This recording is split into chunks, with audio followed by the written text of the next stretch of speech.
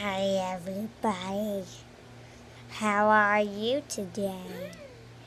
I just want to say, who would like to eat me? um,